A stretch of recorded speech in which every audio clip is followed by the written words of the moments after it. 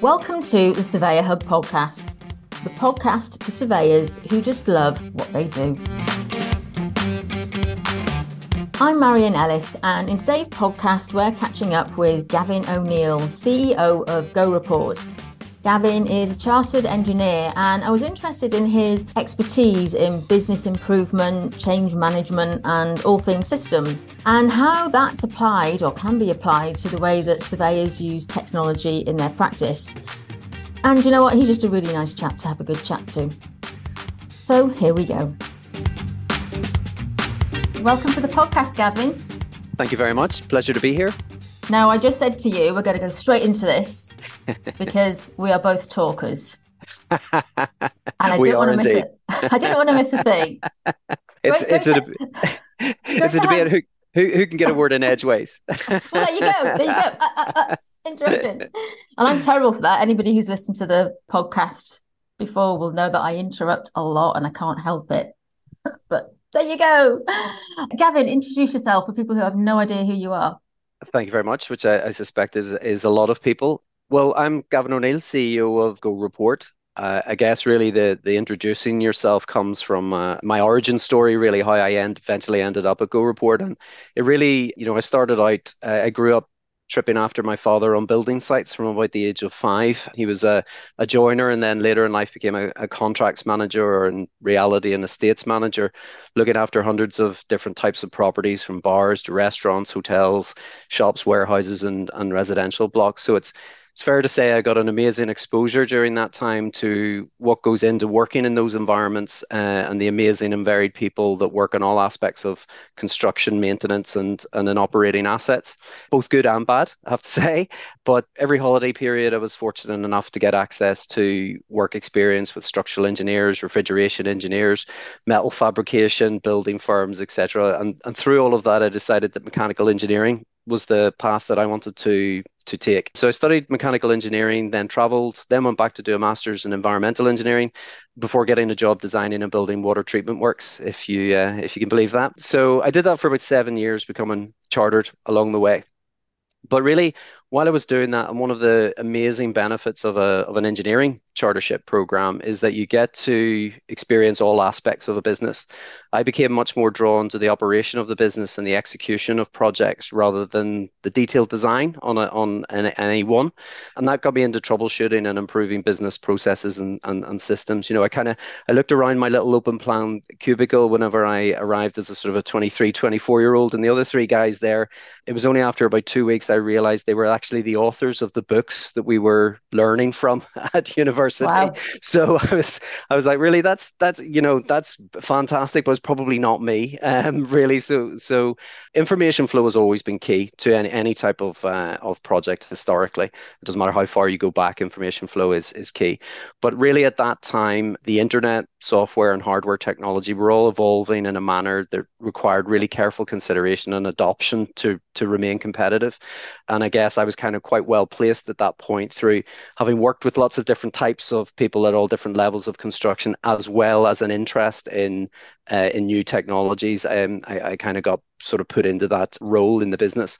So I was really a purchaser of software and an implementer of change programs long before I was a producer and seller of software, so so to speak. So I, I think it's fair to say I know both sides of the equation fairly well. After a number of years of doing that, I worked in a number of industries before switching to the software side of problem solving, and then I've been doing that now for for 20 years nearly. Oh wow, there's so many questions I could ask there, but bizarre, bizarrely, some of it resonates. You mentioned the authors of the books that you. I had the same when I was at Blue Box. Mm-hmm. You know, um, mm-hmm. I've got a book. I won't say first edition, but an early uh, edition of the year it came out. Phil Parnham and Chris Rispin's uh, mm-hmm. uh, and the gang's book, uh, and I got them to uh, to sign it, and it was really intimidating being with these amazing people who had written these books and do I fit in or not? Am I as good as them? You know, uh, amazing, amazing people that you realize are normal people too. You know that really you, normal. You know, you look you, you you look at their references and their lists and how many times they were kind of flown around the world to speak at, at particular things, and they're the guys saying, uh, "Yeah, you having problem with that? Can I help you?" You know, really fantastic, fantastic people to learn from. Try being their boss. I I always remember sending. Um, I'm sorry, what might be saying. Bless him, he's retired now. Um, Phil Parnham. We were doing a, a road show, and he wanted his wanted his slides in a certain format, and so I forwarded on to the secretary and said he's a bit particular about his slides, and I'd, and I'd copied him in. Yes, I am particular about my slides, Marion. we didn't get off to a good start, but it got it, it did get better. Yeah, so that that totally resonates. And also being young and that you're involved in technology or you must know about all the technology that's out there. I was working at Countrywide when they brought out the first tablet technology. That was what 2000 four, five, something mm-hmm. like that. Mm-hmm. And I mean, I knew nothing about technology and internet and email and, and, and those things back then, with it all being quite quite new. But because I'd seen a coloured computer screen, I was like streets ahead yeah. compared yeah. to others. Yeah. And so I would go out and audit other surveyors and show them how to use the tablet. And I learned so much about surveying and not so much from the technical side, but the whole approach. And it made me feel such a good surveyor. Mm-hmm. Well, the things that I that I knew, you know. Yeah, absolutely, and I think there there is that aspect of the sort of young equals technically sort of competent kind of thing. But I really, and probably for yourself as well, you kind of fell back onto your your education principles. You know, from an engineering principle, it's about problem solving. It's about considering all of the facts and information. And it's about revisiting those facts as you as you look towards problems. So, I think really the key thing was, you know, I wasn't a you know, I wasn't technology for technology's sake. I was a problem solver, and in order to solve problems, you you need to have that right combination of people, process, and the tools that you give them. So I think that's that's kind of where it started. I started. I, I was put in. Really, it was I was put in made responsible for a troubleshooting exercise where we we'd managed to build a, a very large concrete tank in the wrong place, and anybody you know you don't have to be an engineer to work out water doesn't flow uphill very well. Put it that way, and it was quite a quite a costly mistake. So the, the, the problem was, you know, how do we stop this happening uh, again? And it required digging in quite deep. And it also required talking to people who didn't necessarily want to share information with you because they feared blame, retribution, whatever it happened to be. But I was just very focused on, well, how do we stop it happening again? You know, what what tools, what processes can we put in place? And as it turned out, it was it was one of those situations where it was nobody's fault but the processes and the tools available to people didn't make it easy for them to make the right calls and the right decisions at the right time. So once we, you know, we did that, and that that was kind of my grounding in it. And once I kind of finished that project, was like, okay, well, there's a there's actually a role here for for that, and, and for where we're going to go. It's a very large business, so it it, it had um, advantages with with scope and reach at that point. That's interesting. I'm going to say that a lot now. Now I've tuned into oh, I'm, I'm, very happy you are. I, I do hope that I do hope the listeners feel so the same way. I literally I haven't had a glass of glass of wine. I've uh, just had a cheese sandwich, and but um, I find this interesting because when we rolled out this new tablet technology you know, 20 years ago now, every you know everything was engineered and processed, and we had to map how uh, the site notes that Surveyor took, they had to be redesigned and everything. Mm-hmm and then you had to match all like the lenders forms over it and it became the most over engineered complicated yeah. thing yeah. ever because you looked at the processes that you had and tried to make them fit and i remember being told we have to click and chill wait for it to load, to load up but also there was the we had so there were online site notes and those that worked in countrywide back in the day might remember this but there was a page and it was called the CSQs, client specific questions. And it was everything that didn't fall into the, you know, the standard uh, site notes for, for mortgage valuation. And there were loads of them. And the, some of the questions, when you read them in, in isolation and, you know, not understanding the lender's guidance sometimes, you weren't sure whether it was a yes or no. Yeah. Do I tick the box or not? And the how a question could be implied and do you and so, you know, there's one thing to fill out you know, do your inspection and then fill out a report, a lender's report. It's another to fill out the report while you're going around on site, given how the questions could be phrased and, uh, mm-hmm. and interpreted. And and engineering and processes get you so far, but we're all human at Absolutely. the end of the day. Yeah. Well, if, if there wasn't a human, peril, I think. Yeah, I think if there wasn't a human aspect, the job would be automated. That's that's the point, really. If if if a human doesn't require uh, to apply their expertise or decision making on a on a on a process, it it can be automated. It's not to say it will be automated, but it can be automated. And there's one thing that I've coming into surveying, I, I joined Go Report uh, about four years ago, and one of the things that you know I'm very passionate about is increasing the perception of the value of the surveying community, both residential and commercial, because we work across both both sectors. Is that it's not something that's ripe for commoditization. It's not about commoditization. Our entire workflow really is built around the kind of preparation, the actual site physical being at the asset property or, or or otherwise. And then the edit and review stage which is your stage for reflective thought. So any technology and i and we do come across this where people have adopted maybe the wrong digital is it's driven them in that commoditized route. They haven't been able to express what they need to do as either part of their workflow or in what they're recording. And good technology does good digital doesn't do that. Good digital gives you the flexibility to to to allow your expertise to shine through. We, we, and we know it works because we have over, you know, 450 clients. Um, you know, our business is split about 50 50 um, residential and commercial. And out of the residential clients that we have, you know, there are, you know, many of them have been guests on your your podcast. You know, they're surveying royalty, you know, the likes of Zoe Baker and James Brooke at Novello and uh, and Zoe your surveyor and, and and many, many others, you know, they are they're all doing the job kind of thing. Uh, and and they're all excellent surveyors. So we we are very cautious about when we introduce enhancements into the product does it you know like any tool does it fit in your hand? You know software is no different. Does it fit in your flow? And also um, taking people when they've had a bad experience to sort of re uh, reinform them about what a good experience looks like. You're right. It's a tool at the end of the day. Absolutely. And if you if you don't know i mean and this is this is always tricky because of course we know how to inspect buildings and what our routine is but unless you've written it down step by step and really understand, well, why do you start here and finish there? And why do we do it this way round?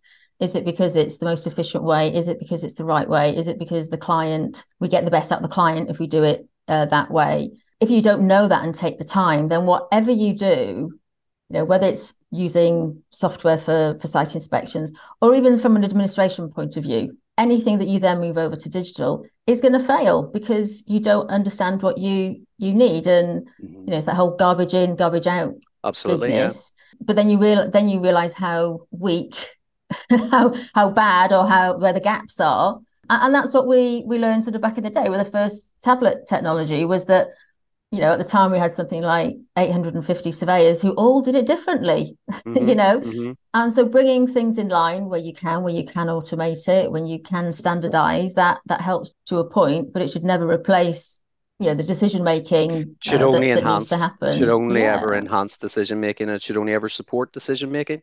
And I think that the really interesting thing about one of the many interesting things about the residential sector, you're you can be a sole trader who produces the exact same product as a very large company effectively to the to the consumer. There's not many industries like that where you you you can. It's a little bit different on the commercial side because resource and capability come into it so it's slight, slightly more difficult to be a sole trader in that in that sense although there are specialists obviously. But as as a sole trader you know you are kind of the arbitrator of of your own quality, your own production, your own work winning, uh, your own client liaison, all of those sorts of things.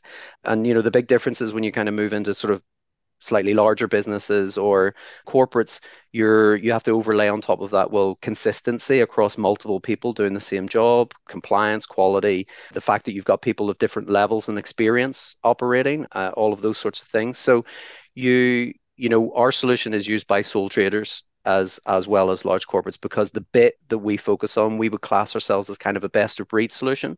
You know our, our mantra is do what we do really well and play really nice with the other kids around our of the workflow. Hence we've got a very you know an integration strategy with with other tools and an information strategy with other tools.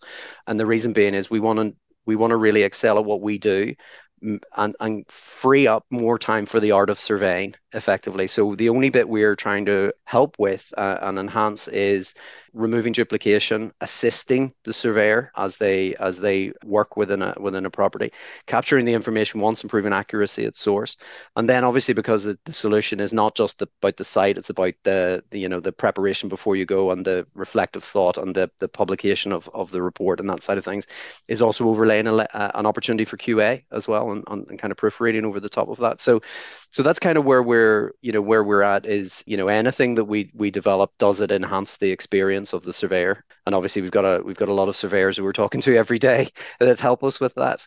You know you mentioned consistency quality. One of my roles back in the day was audit manager you know and trying to get 850 people to do the same thing or to write the wall thickness in a lender's report, which was, you know, this was pre the last crash, is is nigh on impossible. It's um, it's re- it is really difficult. But you do touch there on the need for quality, the need for risk, and understanding your risk. Because if you've got people doing different things at different times in different ways, there is a risk that somebody could do it better or worse, and you then get a claim or you get you get a problem. And I guess that's where I see a lot of firms. I'm going to say mini corporate, which is, sounds quite derogatory, but it's more that people set themselves up, but the only model that they know is a corporate one. Yeah.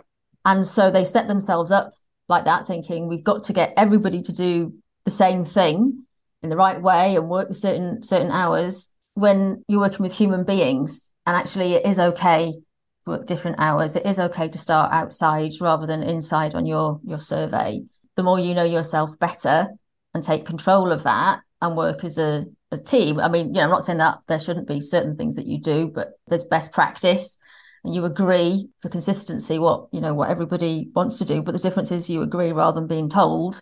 Mm-hmm. You know, you must mm-hmm. stand on one leg when you draw something or take a picture of a of a of a roof.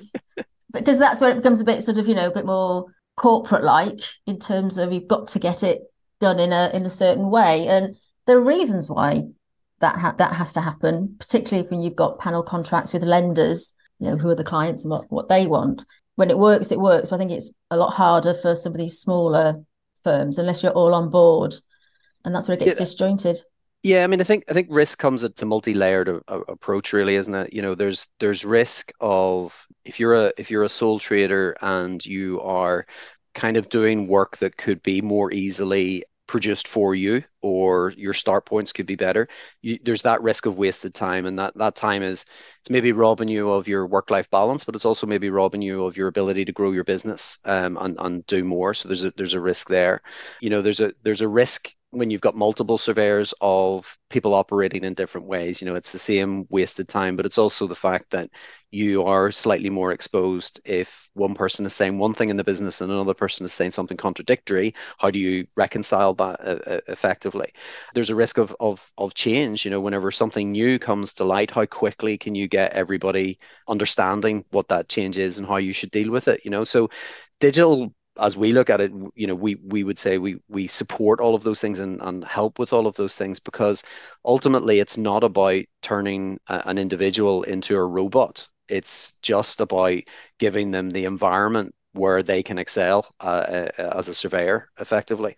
I kind of think of it this way you shouldn't really have to think creatively about how you produce the thing that you do all the time. You should think creatively about the job in front of you, the property in front of you, the asset in front of you. That's what you should be spending your time on and removing the other, the wasted time on the other aspects.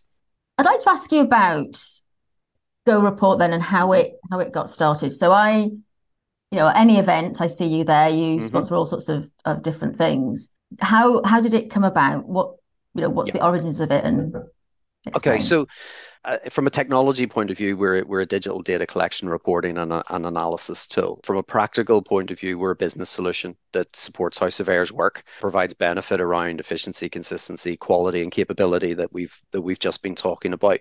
You know, as I say, I've never really been an advocate of technology for technology's sake. I'm not one of the kind of people that you know picks up the next bleeding edge thing and said this is going to change the world kind of thing. I always come back to my my problem solving roots and my my engineering roots and go, well, does it make my life better? If I if I if I start using this, does it make my life better, or does it give me the potential to to make my my life better? The origin idea of, of Go Report actually was from a from from someone with another very similar mindset. It was it was founded in 2011, and it was a surveyor who actually worked in the shipyards who who came up with the idea, and he was really fed up with pen and paper, you know, having to carry physically carrying a lot of preparatory information with him to, to wherever he was in the shipyard, actually collecting information at the point of the asset that he that he was at, returning to the office to write it up, suffering the accuracy issues and the delay, and all of this stuff about putting it back together again before he could actually provide any insight and guidance about what to do next and the action uh, of what to do next. And we kind of forget when things were invented. The first iPhone was released in 2007. The first iPad was was 2010, and really at the very start of the company, it really was in startup phase mode in those early years. You know, you were you were talking about uh, an environment where people were thinking about these things as consumer tools rather than business tools.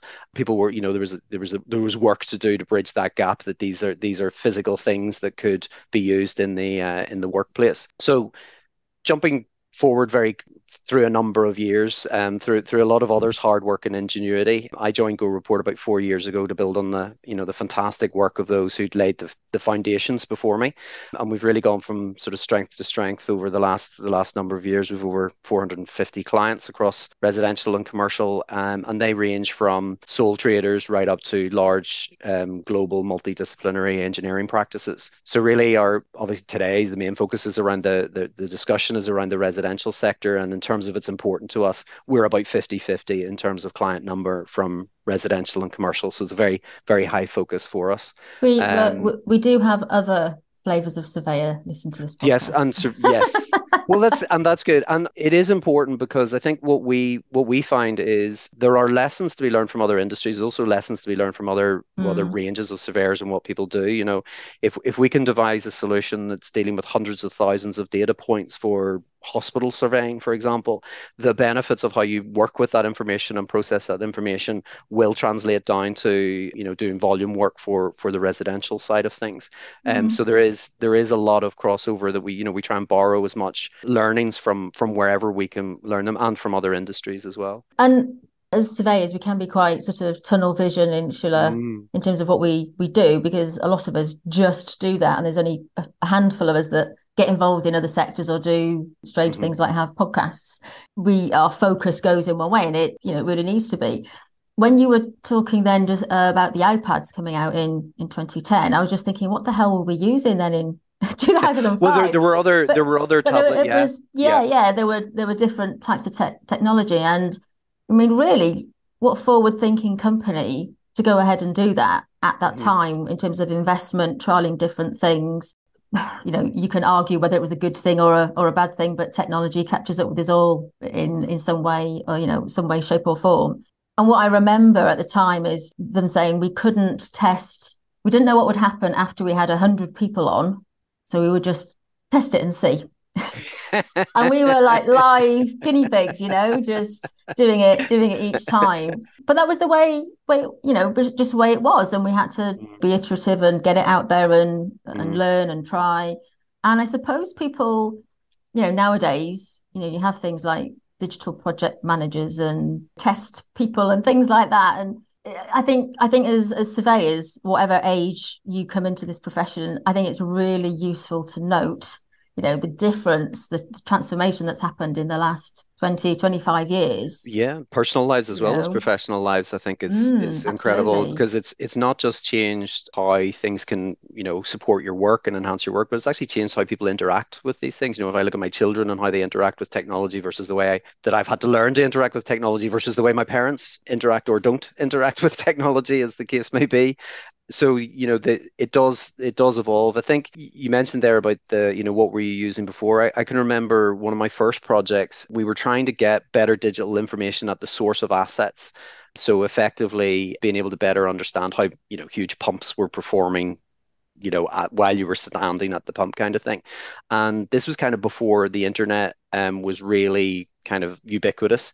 And it was also at a, at a point where a lot of business systems weren't browser based. So effectively, you know, they, they sat on premise in large server rooms and that kind of thing.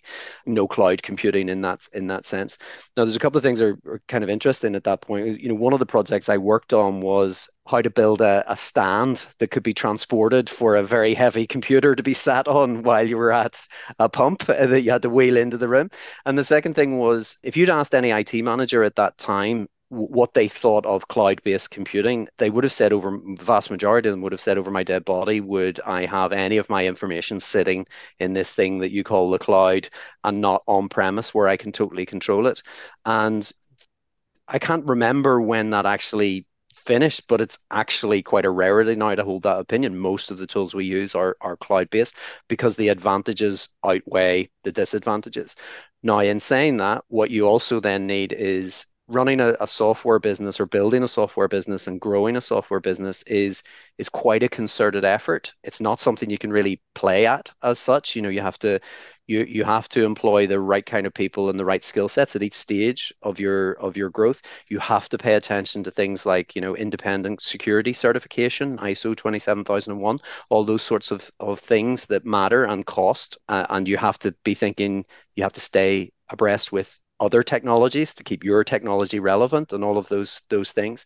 So there's quite a there's quite a concerted effort with all of those things. And whenever you said there there was the sort of try it out and wait until it broke kind of approach, it, that still happens. W- what happens, you know, businesses like ours, we we don't do it that way because we're not at that scale. But you saw most recently with things like ChatGPT, you know, they mm, released yeah. it out there, and you, you you know after using it for about a or after it being live for about a week, the messages started coming. Going, there are too many people using it now. We can't we can't keep up with the demand. We have to scale up, etc. So for large scale things, it still happens at the, at the level we we kind of operate at. That wouldn't be the approach we would take because we scale in advance of of our growth effectively. All all of which requires a lot of a lot of concerted effort. Yeah, and you saying that reminds me of um, even if you go on the Boots, the chemist website, you get allocated a little slot to go in, and you know, so it is like waiting in the queue at the at the chemist. Yeah, um, yeah. And it's also looking at how people utilize the technology. You know, you're never going to really know what it's like and how you use it, and I remember the tablets when they first came out. I found them quite heavy. I'm a lot smaller than some mm-hmm. other guys. Um, I used to carry it like a, a crossbody oh, handbag, yeah, yeah, which yeah. was fine. But they gave us we had a choice of a rucksack or a big one of those big chunky briefcases on wheels. Mm-hmm. Mm-hmm, um, mm-hmm. I may even have one in the loft. I'll have to see if I can find one and take a picture uh, because you know nothing was getting getting through that. But then most people, you know, the practicalities of it, you'd leave it upstairs, you'd put it down. You know, it's how you the whole user experience, which comes back to being individuals. The you know at the end of the at the end of the day, and how how you're gonna you know use something. Yeah, and I, I think that the, the key thing is always that, that I always come come back to really is you know what why do we sort of said who who Go Reporter you know but what what are we really you know we're we're we're a bunch of individuals who come together that literally get up every day to serve the survey, surveying community. You know, that's that's what our guys do. You know, we have a great core team who kind of experience more sur- surveying activity in a in a month than many surveyors do in a year, kind of thing. Just because just the sheer um, weight of interactions that we have, and and ultimately everything we do is measured against is it in our client's best interests effectively? You know whether whether we get that right or wrong is is really determined by how long clients stay with us um, which you know fortunately is very good but we we never lose sight of that kind of thing. So when we look at evolution the one thing we know about it is things are going to evolve and change. So you don't necessarily know where they'll get to. You don't have to have a crystal ball because it's not really that important about where they get to. It's that you're prepared to evolve with the change kind of thing. Um, I had a little um, weekend trip with my son, who's uh, 11, and we did a little museum trip to London at the weekend, and um, we were going around the science museum, and uh, we were walking, you know, the, the exhibit where it shows the evolution of products and stuff. And I, I pointed at a computer, a Commodore, and went, actually, that was my first computer. I got that at your age, and honestly, it took him about half an hour to stop laughing right? It's mm-hmm. like, what what could you possibly have done with that, Dad? You know, that kind of thing. And you know, so it, that's it within a lifetime. That's within a you know within a generation or, or a couple of generations kind of thing. So we know it's going to change. We know technology is going to evolve the key thing is to evolve with it in line with what you're actually getting paid to do effectively and that's you know not not overly worry about the bigger picture as long as your your individual picture is improving and enhancing kind of thing and it's and it's investing in something in your business you know just like like people you know all sorts of other kind of uh, technology that's going to grow with you so it's not like a when i speak to people about and they you know they talk about technology you know we need to change get you know get on the tablets marion and that mm-hmm. sounds terrible, doesn't it? But, you know, it's maybe also true, but you know, also true. Uh, but they're looking for that that silver bullet. Yes. You know, this will yes. fix my problems. Yeah. Yeah. But it's really hard to do that when you don't fully understand it, and you're not an expert mm-hmm. in it. You're a you're a mm-hmm. surveyor. You, you know, not not an expert IT person you know, and so it's really, and when you're tired at the end of the day and you're trying to make it work and it doesn't, you haven't got that support around you. So it's mm-hmm. got to be considered, but you've got to know your business well and start to sort of zoom in and zoom out a bit, if you like, of well, where are things going? And you've got to be thinking about risk and about regulation and how flexible can a, a product, a digital product or whatever be so that if mm-hmm. things change, just like, you know, through the pandemic, we all had to pivot didn't we? You know, I've never done as much in... pivoting in my life. you know, we all had to ha- had to do that, didn't we, to see yeah. how we could do things differently and how how quickly we we could. And some fared better than others, and yeah. we also learned why it was good to stick with the old ways you know what to pick and what to what to choose but it's it's not a silver bullet and it's really hard and a lot of the surveyors that i speak to and and i you know this is where you get the you've tried something and it doesn't work mm-hmm. and you've been burnt Mm-hmm. Sometimes it's not the, the the product or the technology or whatever. It's it wasn't right at the time, and you weren't in the right mindset, and you didn't get get the right support. What can you? I mean, I'm sure you see that. What can you? I'm interested in, in the view that you have as on the edge of the profession, if you like, looking in of what you mm-hmm. what you see mm-hmm. with surveyors. Well, I, I think you know, it, in terms of being on the the edge of the I, I come with, with, with different perspectives from you know from from working in other sectors but in terms of what we do we're very much very much immersed in the profession as such we're just not out surveying we're we're we're actually providing solutions for people who are out every day surveying. So the the thing about it is the generic kind of kind of thing. There is never a perfect time to implement any form of change. You're either you're either at a point where you're doing so well, you're so busy that you don't have time to look at it, or you're at a point where you're not busy enough and you're solely focused on winning enough work to stay in business effectively. There's no never a, a happy time, um, or there's never a perfect time, I should say. The the the the right thought to have is where where's my business going you know that that is the whole point is where's my business going and what kind of what kind of environment do i want to work in and and that will be it will be dependent on whether you feel yourself that you want to stay as a sole trader or you actually want to grow your business or you're actually part of a corporate where lots of people and lots of mouths to feed that you you have to do so although we there's probably very little we haven't seen, we kind of treat everybody that speaks to us as a very individual scenario. What are your challenges? What's your desire for this? So we would have a client who, you know, literally has a, an external interest that they want to spend more time on, but they can only do that if they earn enough money doing what they're doing. They just want to get back time effectively um, and and that was their motivation. Where, whereas we have others that say look you know I, i'm starting as a sole trader but i want to grow and i want I want to evolve my service offering. So I need a I need a platform that's going to allow me to do that. It's not just delivering one solution. It, I, I want it to be able to deliver solutions I haven't thought of yet. You know, a typical thing at the moment might be I'm doing a level two, I want to move up to a level three, but I also want to do snagging, I want to do new build work, all of those sorts of things. I need a platform that can evolve to do all of those in, in line with the way I want to do it. And if I employ additional people, how do I manage my risk of having other people operating under my name. So those are all things that you need to really understand. And so I guess my advice to to anyone looking at technology is don't be shy, you know, particularly if you're a sole trader. Get involved in open engagement. You know, any engagement with a software vendor is is effectively free education and learning for both parties. You know, a, a prospect, as, as it would be termed, not a client, a prospect is in total control of the engagement. The software vendor's role is to help you come to an informed decision. I think what I see a lot is people standing off and maybe not sharing as much as they could share in order to get them to the to to their own informed decision. I would say, you know, arrange a call, talk through your challenges, allow whatever vendor you choose. They should be listening to you and finding out more about your challenges and motivations and then sharing their knowledge and experience with you.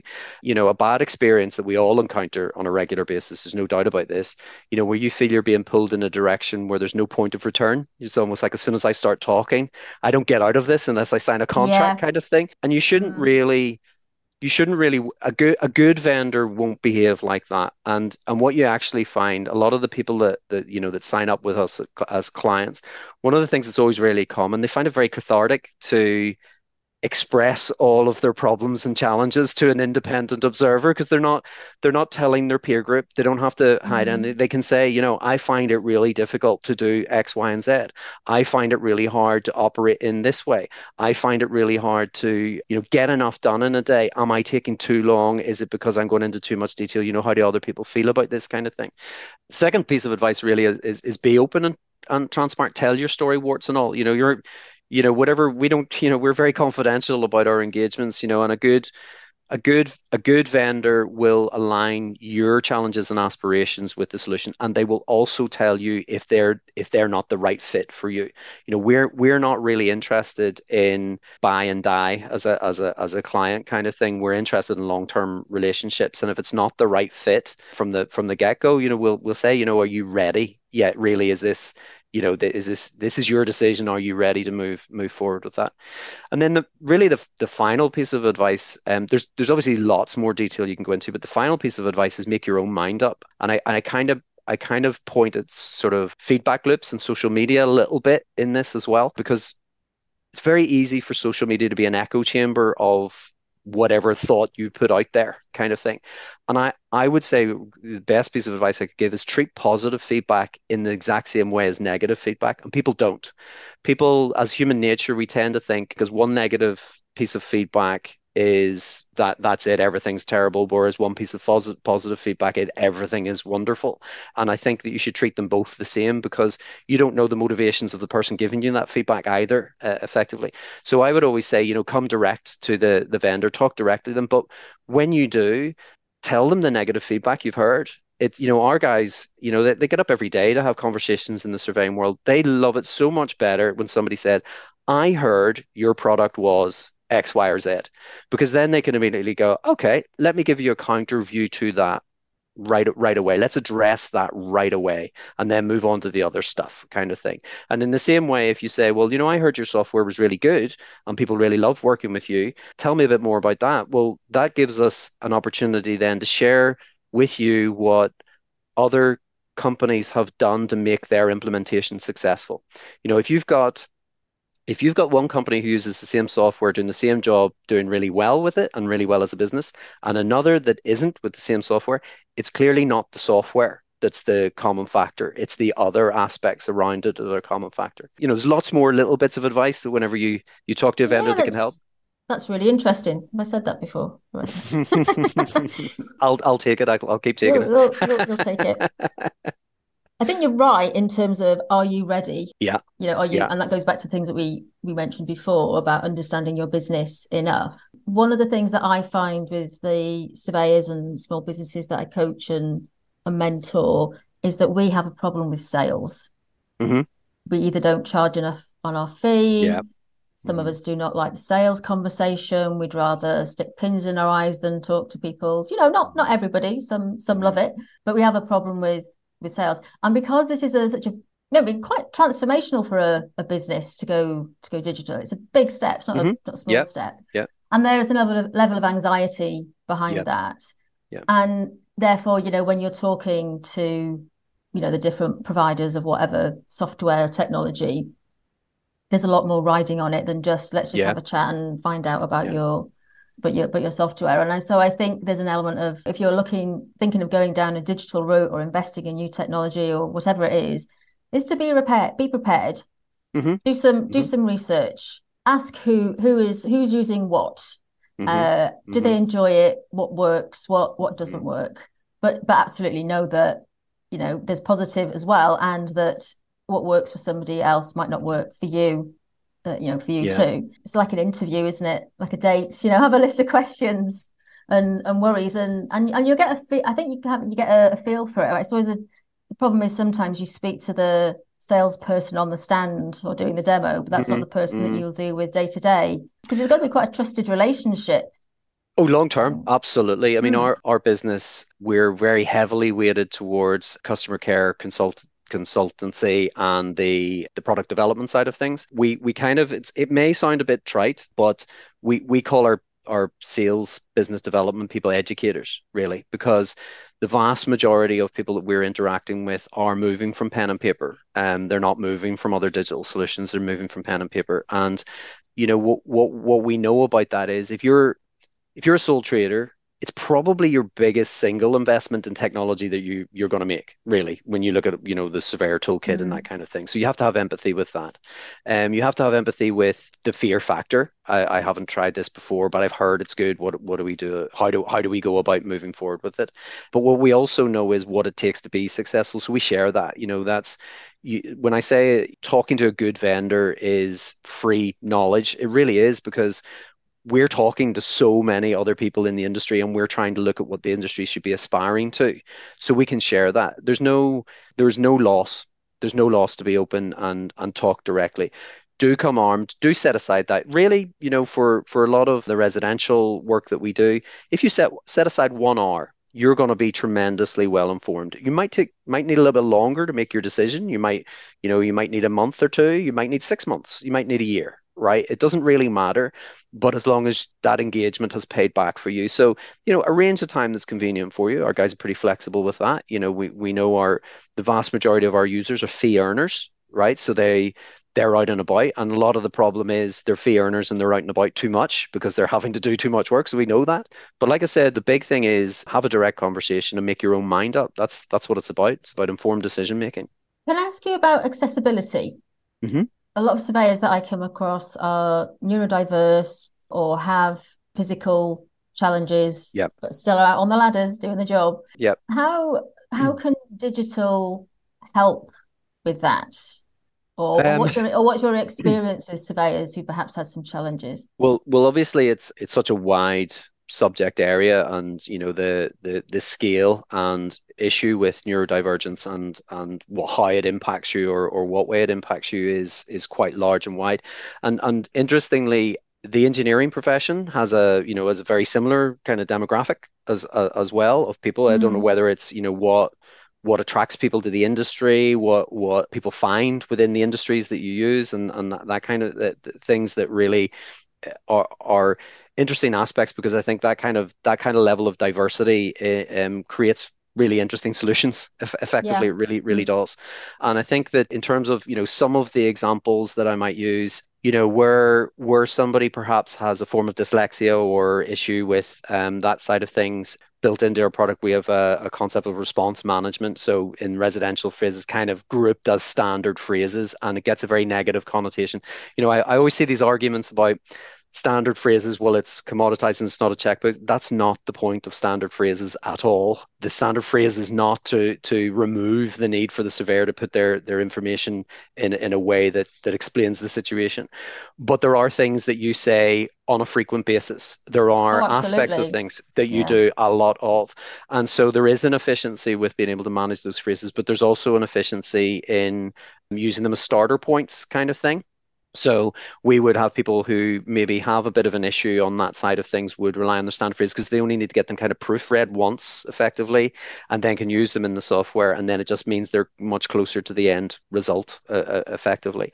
There are other aspects, you know, obviously this is a this is an audio podcast, but I am showing you a, a little iPad here with a little holder thing kind of on it, on it. And that, that sort of ability to work with an iPad with one hand while you're opening and closing doors and that kind of thing is part of the overall solution effectively. And then there are, you know, there are other aspects in the tool about how the information is presented on the screen. We try to keep it clear, we try to keep it logical and, and just helping people with that with that aspect. And it's quite difficult for some people who wouldn't necessarily regard themselves as having a, a, dis- a difficulty, a mm-hmm. disability, mm-hmm. or, a, or a problem. But it is okay to say, you know, actually, I struggle with red and green colors can the screen do something different for me? It's having that conversation isn't it? And building up that trust. Because if you're not sharing that then how can how can yeah, it's what it's what i said about being um mm. being really open and transparent you know telling telling your telling us your challenge warts and all effectively. Because you know the worst thing to do is is to not say and then feel disappointed in the experience. It's much better to say i've got a, you know an issue of this. And for us to be honest and say well we could we could do this that would help or actually there's we can't do anything to help with that you know that's that that's not something that we we can envisage anybody can do with but is there any other aspect that we can do to to mm-hmm. to, to, ease your path kind of thing and fortunately I, I don't know whether it, i suppose the more the more if, if an individual has kind of come to terms with it more they're, they're generally pretty upfront with us you know we we, mm. we do have a lot of conversations in this area uh, and so the more you know we we are getting we do get people who who tell us upright and explain the situation and then that you know that helps us a lot in the relationship and i think longer term as well you know the key thing as well a lot of software companies are very heavily loaded on sales at the front end. Now, obviously, we're all involved in sales. Surveyors are involved in sales as well. It doesn't matter how good or enjoyable you find your work if you're not doing the work, you're you're not earning a living at it. But I think the key thing is a solution like this has to evolve with your business and as things change for you. And so, um, you know, that is a key aspect of evaluating a vendor that you're going to work with is year on year because that's the way we work year on year are, are, these guys evolving with me are they are they moving what they're doing onwards in the way that the surveying industry wants them to, to move on or are they bringing things to the table that surveyors should should aspire to that maybe aren't going to think of themselves you mentioned standard paragraphs mm-hmm. and you're right you know that's hot potato hot topic, hot topic as they call it and the fact is it is an efficiency because there are things that you would like to say in your own way on every report. It's just the way that you write your report. And there's sometimes we have these standard paragraphs as caveats to get us out what we think will get us out of a claim. And yeah. generally it's the opposite. We put we put too much in. Uh, but they're there as a uh, you know, some people use them as a prompt. Some people just use them as a get my brain in gear after I've had my cup of tea, after being out on site and, and start writing. But it's the it's the reflection and the editing and, and getting it right afterwards that you know the the magic of surveying if you like comes yeah. together can i ask you about you know you mentioned chat gpt before mm-hmm. What are your views i'm going to say views what are your thoughts or your insights on on that um, and can you see that coming into surveying because we often hear surveyors we're far behind when it comes to prop tech mm. and then mm. they just think well we don't need a lot of tech I think we're doing all right with a mobile phone and a, whatever it is you've got, you know? Yeah. I, I think um, we we shy well, I I certainly um since I get kind of came in to GoReport of of of sort of put a bit of distance between the kind of the phrase prop tech and, and GoReport. You know we're we're a business solution for surveying. Prop tech as a as a as a word as a phrase is is kind of is really good for people who organize events. You know how do you group as many people as you possibly can to get people to exhibit? And i'm being you know slightly facetious with that but that's you know that's the the history so you, know, you so you don't want to be in the property technology area you want to be where the fun guys are. exactly, exactly. Um, well, the, the the issue is that covers it covers too much ground. So we work was classed as prop tech. Um, mm. and you know that that's the, the stuff of documentaries really. And you know there are lots of other other things like that. We kind of look at it and go okay again back to the problem. What are we trying to solve? Who are we trying to solve it for? What is their um, likely expectation and aspiration? And and how do we apply what's available to us in a cost effective way to, to to to make that happen so when you look at something like ChatGPT or other other AIs are available, and it's a really interesting thing. The one thing we do know that history tells us is you don't stop technology evolving into into your lives in, in what way. I think that you get the, the first waves of it, you kind of get this, you know, eight weeks ago, nine weeks ago, was very dated, you know, January, February time, you get this massive wave of interest and lots of people posting, I put this in and this is what I got out and that kind of thing. And you see this massive wave. And then you start to see the wave of concern and okay, well, where's this information coming from? How reliable is it? What what happens, you know, if I was a content creator now, you know, have I signed away my rights for this tool to use what I've what I've put out there kind of thing? So these are, you know, these are all natural waves of any kind of evolutionary thing what we do know is it will come in in some some way or, or some form. Probably not the way it is now, but it, it, it will start to um, to come in. And my wife's a teacher. Um, we talk about it from an education point of view as as well, and, and kids using it and teachers using it to prepare lessons. It's not just kids using it to plagiarize yeah. or get things right. It's teachers using it to prepare lessons and that kind of thing. I always go back to the same thing. It will find a way. I'm I'm a practical optimist. I like to think that um, yes, people can be bad actors and people can do things wrong, but I like to think that a, a as as there's enough good intentions that will evolve something into something that's useful and will start to address the downsides and the concerns and we will adapt to it I think I saw something, you know, recently about protests against calculators in the maths classroom at one point in time. And whenever I, um, when I started in sort of professional engineering at 22, 23 in the graduate scheme, one of the sort of elder statesmen said, "Oh, you know, you're going to have to convince the Luddites." And I'm, I'm like, well, the, the, the what now? The who now? Who, who are they? You know, and the, you know, there was a movement in this whatever it was the 1600s mm-hmm. to against machinery and that kind of thing. So it's a natural, it's a natural progression. We have to learn to adapt to it. I don't think we have to learn to adapt to the way it is now, but we will learn to adapt to the way it comes in and is used. Now, in terms of the surveying world, what do we what do we know? Well, we know that knowledge sharing is is very important you can't be an expert in everything you can't know the answer to everything a lot one of the great things about the profession is as time moves on your experience grows because the things you see happen more often so people will be looking for how do i accelerate that knowledge learn how do i how do i improve my access to a wider sense of experience so i can see the benefits of machine learning really rather than AI coming into those things. But the same principles that have always been there, validate your sources, check more yeah. than one. I think the difference with AI with things like ChatGPT, it's harder to validate the source because it could be multiple sources of the same thing giving you the answer, which is what people are saying when they see crazy answers coming up and that kind of thing. So long story short, I, it, it's coming. We we will evolve and we will use it for the better. I think. I, I, think it's a I think it's an interesting time. I think it's something that surveyors shouldn't be scared of. No, we've, not at all. You know, we've evolved so much. I mean, hey, if we can go from the tablets that we used to feel like, like the Flintstones. Remember the big stone things that used to have? They weigh they weighed as much as well. Um, I think you're really the... you're really scarred by this, Marion. this, this, is, this is a very unhappy time in your career, having it to lug this massive machinery around. no, do you know it was it was just it, it was interesting. It was groundbreaking in many ways. I just felt quite out of sync with it. Yeah. You know, yeah. in that I wasn't a yeah, and that shouldn't yeah, and that shouldn't shouldn't and be the way. And, and I still feel like that now today, and I'm sure the, mm-hmm. it'll resonate with um with other people.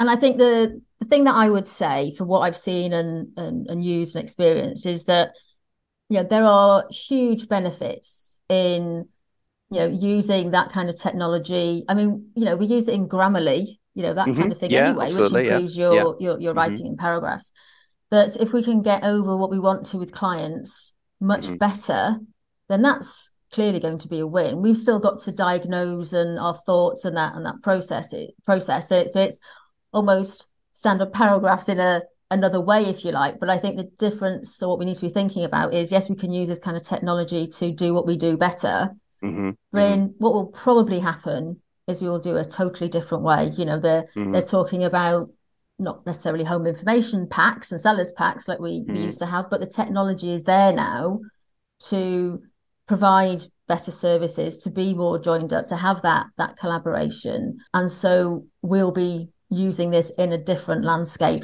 I, I would yeah. predict.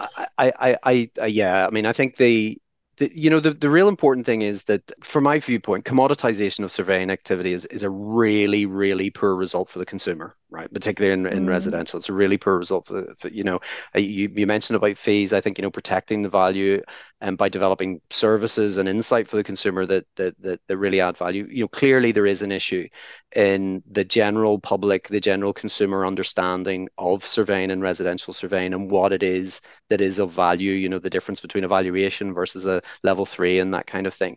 And, you know, I know that from personal experience when I've been advis- advising friends and, um, you know, I'm usually the first port of call for a lot of my friends when they're changing properties or have an issue and that kind of thing. And there's a very large informal network out there that participate in what surveyors do. I think the important thing is the report that is produced is not the product.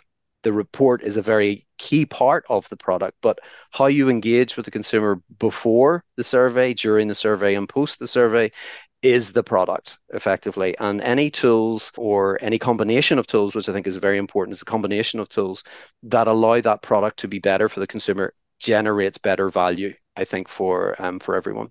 I, I yeah, I think I think yeah, I agree with yeah. One of the things I would always say, just to finish on, is we provide a service. Yep. You know, when you start to give a product, that's when in people's mindset it goes into an insurance guarantee. Yeah. You know, yeah. and, yeah. and that, that piece of paper in my in my hand, but we're offering a service. And yeah. if we can make the paper-based stuff easier, quicker, more efficient, creates more time. Read it, all of those things. Creates, creates more time, time, for the service. To deliver the service yeah, ultimately. Absolutely. Gavin, it's been lovely to speak to you today. Thank you ever so much. You're very welcome, and thank you very much for the invite. Thanks for listening. Don't forget to take a look at the show notes when you get a chance for all the resources and links we mention in the session. If you find these podcasts helpful, don't forget you can buy me a coffee, drop me a quick note to say thank you or leave a review, and take a look at our free resources in the community on the Love Surveying website. I'll see you next time.